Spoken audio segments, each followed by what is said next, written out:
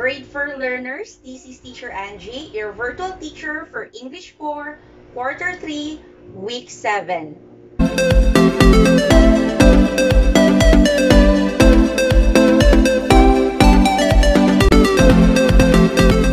Just last week, you have learned about inferring speaker's tone, mood, and purpose. Today, I will take you to a fun-filled learning experience where you will encounter a series of interesting activities and exercises which will help you accomplish the learning competency intended for this week. At the end of this virtual learning session, you are expected to analyze the story in terms of its elements. Are you ready, kids? Let's start! Before we start our first activity, I want you to bring out your self-learning module, paper, and pen, and I expect you to listen and participate.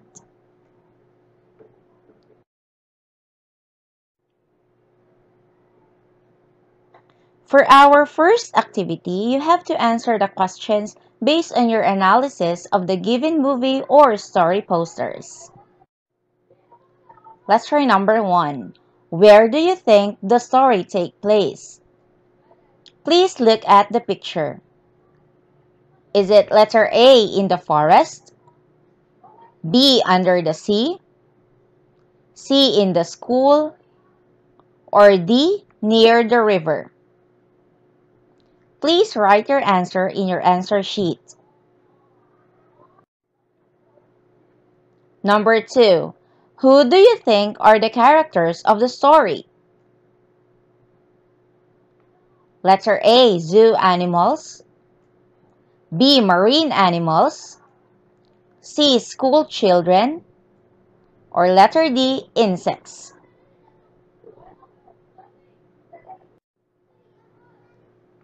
For numbers 3 to 5, you have to put the pictures that show story events in order by writing 1, 2, or 3 below the picture.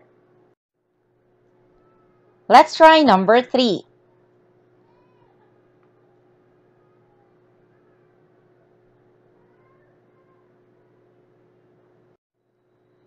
Next, we have number 4.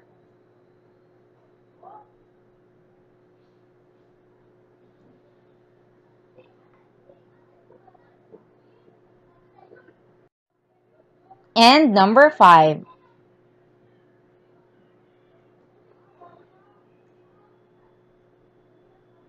And that ends our first activity. Are you done answering? Very good. Now, let us check your answers. For number 1, the correct answer is letter B, under the sea. Number 2, we have letter A, zoo animals. For number 3, the correct order is 1, 3, and 2.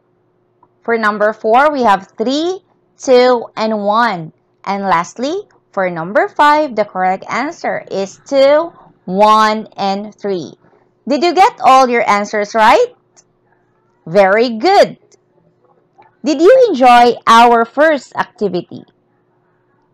Do you now have an idea on what you will be learning in this instructional video? Great! Now, let us have another activity that would lead you to a better understanding regarding our lesson today. In this activity, you have to listen and understand the story and answer the corresponding questions. But before that, let me ask you this question. Have you ever seen a caterpillar? How about a butterfly? Uh-huh. Our story for today is all about Mary and the caterpillar. Mary and the caterpillar. Mary had a flower garden. She visits it every day after school. She cleans the flower beds every weekend. Oh, how she loved her garden. One day, Mary noticed that the leaves of the gumamela were eaten. And she found a caterpillar in one of the leaves. She was about to destroy it, but it looked so small and harmless that she decided to leave it there. She watched the caterpillar eat the leaves. After a few more days, Mary didn't find the caterpillar anymore. She found it in a rolled leaf. Perhaps it grew tired of eating and now wants to sleep. The following week, Mary looked for the caterpillar in the rolled leaf. It wasn't there. She thought it died. Then she saw a beautiful yellow butterfly. Could it be that this butterfly was a caterpillar? Mary wondered. Did you enjoy the story? Okay, now let's proceed to the questions. For question number one, who is the main character of the story? Is it letter A, Terry? B. Mary. C. The butterfly. Or D. The caterpillar.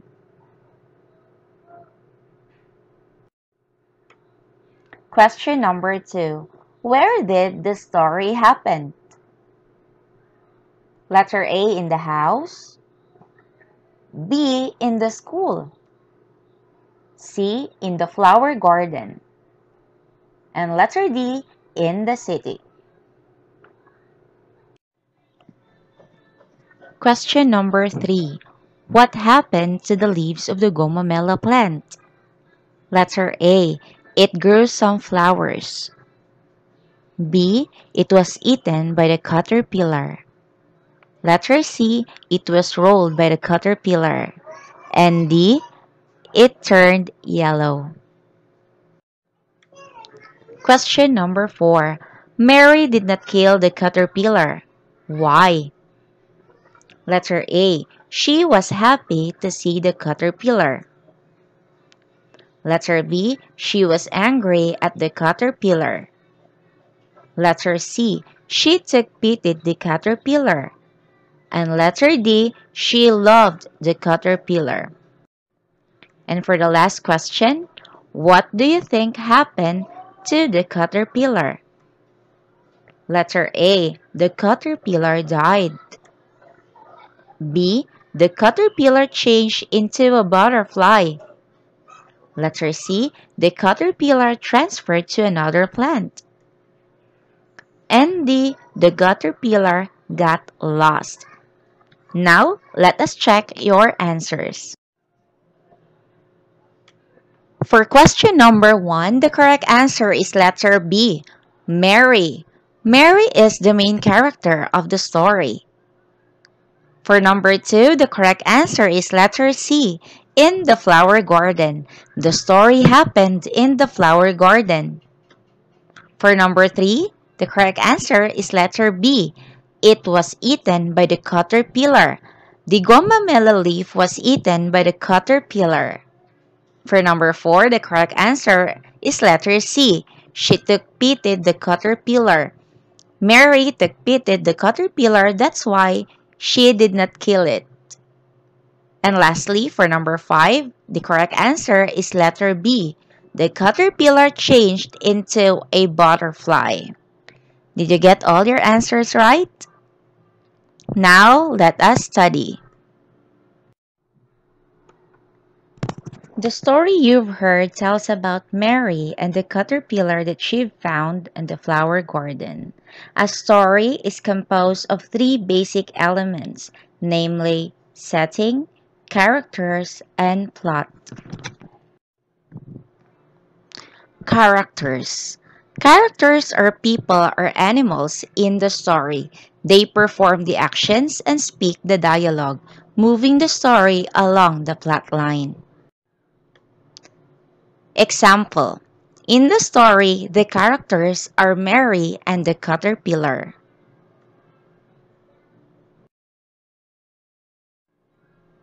Next, we have the setting. Setting talks about the place and the time that the events in the story happen. The example of setting is The story happened in a flower garden in different time settings. Next, we have the plot. Plot is made up of the events that happened in the story. It consists of beginning, middle, and the ending. In the beginning plot, it gives a problem faced by the main character. In the story, the beginning plot is Mary noticed that the leaves of the gumamela were eaten. She found a caterpillar in one of the leaves. Next is the middle plot. It presents the actions made by the characters to solve the problem. Example, Mary was about to destroy the caterpillar, but it looked so small and harmless that she decided to leave it there. She watched the caterpillar eat the leaves. So that is the middle plot. And lastly, we have the ending plot. It gives the solution to the problem.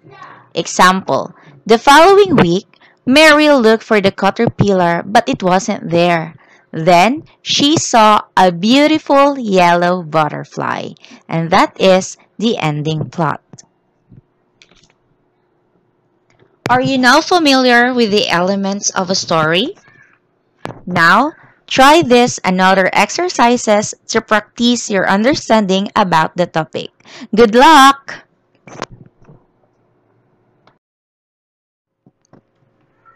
Let us practice. For the part 1, you have to give the character or characters present in each sentence. Are you ready? Now, let us proceed to item number 1. Number 1, Mira felt glad as Sandra gave her a birthday present.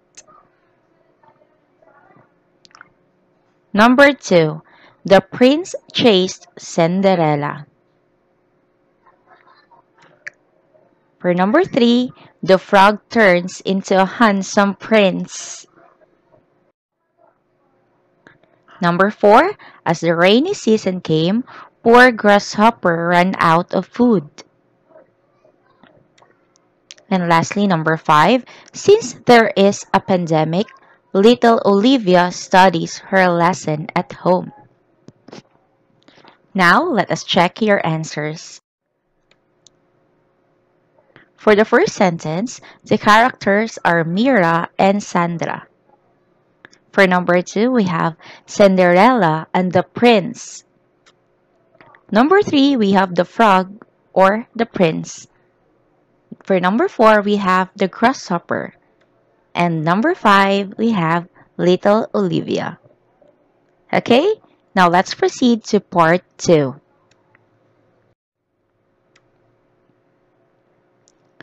For this part, you have to give the setting of the story. Number 1. As the night ended, the sun splashed across Olivia's bed. She opened her eyes slowly. The first thing she saw was the beautiful pink flower on her table. Now, write the time and location.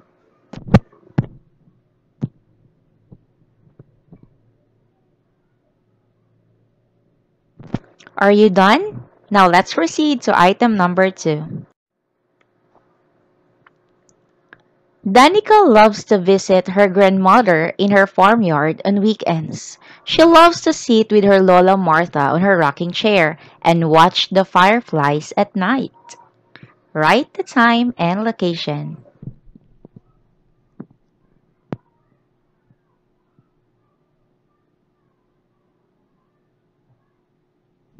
Now let's have item number three.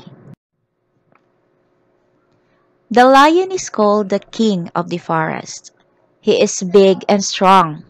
So, the smaller animals are afraid of him except his wife, the queen lioness. One morning, the king of the forest was in his irritable mood. His wife, the queen, had said something he did not like. Queen Lioness had told King Lion that his breath was unpleasant. So, King called the animals. Now write the time and location. Now let us check your answers. For item number 1, the time is morning or dawn and the location is bedroom. For number 2, the time is weekends or night and the location is farm. And for item number 3, the time is morning and the location is forest. Okay, you're almost done. Let's proceed to part 3. For the last part of this activity, you have to give the plot of the given story. Our story is entitled The Hunter. Please listen because you're going to write the plot. Okay? Now let's start. One early morning, Merta decided to go hunting in the forest on the other side of the river. He rode on his bangka. When he reached the riverbank, he tied his bangka to a nearby tree. Then he walked through the forest. It was already noontime, but still he had no catch. I'm very unlucky this day, he said, so he decided to go back to his bangka. From a distance, he saw something inside his bangka.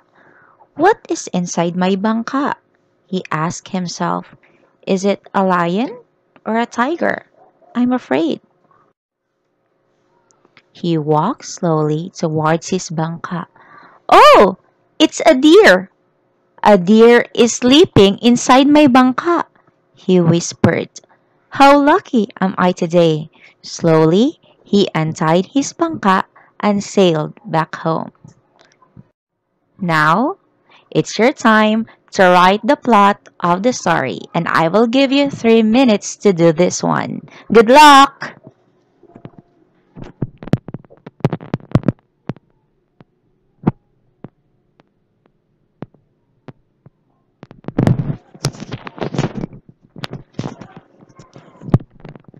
Are you done? Now let us check your answer. So this is the plot of the story, the beginning. The beginning plot is one early morning, Merto decided to go hunting in the forest on the other side of the river. He rode in his bangka. Then the middle plot is it was already noontime, but still he had no catch. So he decided to go back to his bangka. And the ending plot is from a distance he saw something inside his bangka. A deer is sleeping in his bangka. Did you get all your answers right? Very good. Congratulations, kids! You can now determine the elements of a story. Now, you can now proceed to another set of activity. Good luck! Let us practice more. In this part, you have to analyze this given story in terms of its elements, and you have to use a story diagram. Our story is entitled The Hare and the Frogs. This is adopted from Aesop's Fables. Now let's start. The hares once gathered together and talked about the unhappiness of their lot. Open as they were to dangers on all sides, they lacked the strength and courage to hold their own. People, dogs, birds, and beasts of prey were all their enemies. Rather than endure such bad treatment any longer, they one and all decided to end their miserable lives.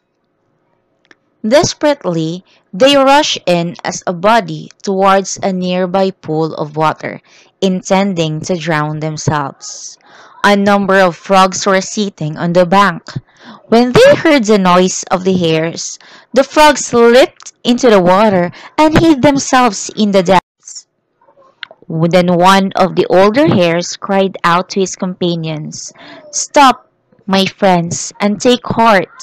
Let us not destroy ourselves after all. See, here are creatures who are afraid of us, and who must, therefore, be still more timid than we ourselves are. Now, it's your time to complete this story diagram. I will give you five minutes to do this. Please pause this video for 5 minutes. Now let us check your answers. So the title of the story is The Hares and the Frogs. The characters are hares and frogs and the setting is in the pond. So this is the beginning plot. The hares once gathered together and talked about the unhappiness of their lot. And the middle plot is the hares rush in as a body towards a nearby pool of water, intending to drown themselves. Then a number of frogs were sitting on the bank. When they heard the noise of the hares, the frogs leaped into the water and hid themselves in the depths. And the ending plot is the hares realize that there are still creatures who are afraid of them. We are almost done with our session, kids. Now, let us give emphasis on the terms that we need to remember. Let us remember. A story is composed of three basic elements, namely the setting, plot, and the character.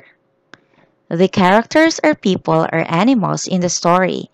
They perform the actions and speak the dialogue, moving the story along the plot line. Setting talks about the place and the time that the events in the story happen. Plot is made up of the events that happen in the story. It consists of the beginning, the middle, and the ending. Beginning. It gives a problem faced by the main character. Middle. It presents the actions made by the characters to solve the problem. And last, we have the ending. It gives the solution to the problem. Now, let, us check how far you have understand our topic today. Let us assess. You have to read and understand the questions and write your answer in your answer sheet. Question number one. It refers to the time and location in which the story takes place. Is it letter A, plot, B, setting, C, conflict, or D, character? Question number two. What is the person or animal which takes part in the action of a story called? A. Plot B. Setting C. Conflict or D. Character Question number 3. A short story's plot is made up of Letter A. The events that take place B. The main characters C. The major struggle of conflict or letter D, the details that describe each character. Item number 4. The setting of a story describes where and blank the action takes place. Letter A, how, B, what, C, when, or D, who. And the item we have what part of the plot presents the actions made by the character or characters to solve the problem? Letter A beginning, B middle, C ending, or D both A and C. Now, let us check your answers. For item number 1, the correct answer is letter B, setting. Number 2, we have letter D, character. Number three, we have letter A, the events that take place. And number four, we have letter C, when. And five, we have letter B, middle.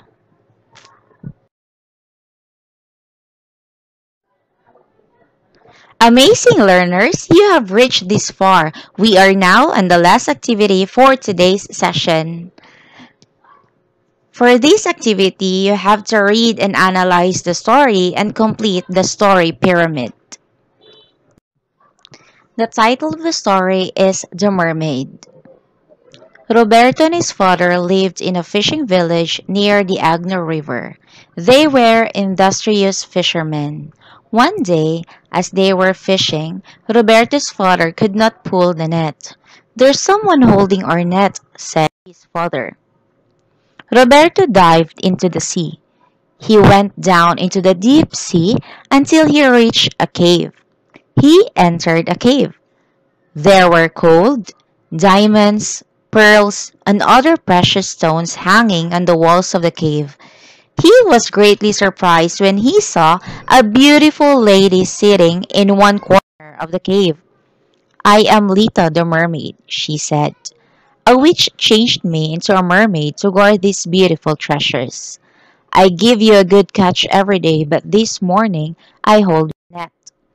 Roberto was attracted by the beauty of Lita in spite of her being a mermaid. Will you come with me? Roberto told her. Lita smiled and said, Yes. When they reached the shore, the mermaid was gone. Lita was changed into a beautiful lady. Roberto and Lita were married and they lived happily. Now it's your turn to complete this story pyramid. You have five minutes to do this. Please pause this video for five minutes. And this time, let us check your answers. The title of the story is The Mermaid, and the characters are we have Roberto, Lita or the mermaid, and Roberto's father. And the setting is it happened daytime in Agno River. And the beginning plot is Roberto and his father lived in a fishing village near the Agno River. One day, as they were fishing, Roberto's father could not pull the net. Middle plot we have Roberto dived into the sea. He went down into the deep sea until he reached a cave. He was greatly surprised when he saw a beautiful lady sitting in one corner of the cave. And the ending plot is Roberto was attracted by the beauty of Lita in spite of her being a mermaid. Lita was changed into a beautiful lady. Roberto and Lita were married and they lived happily.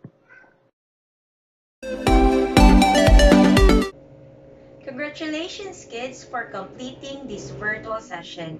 I know that you are now ready to continue to the next level of your learning journey, and I hope that you've learned a lot today. Again, this is Teacher Angie, always reminding you all to be good and be safe. Goodbye.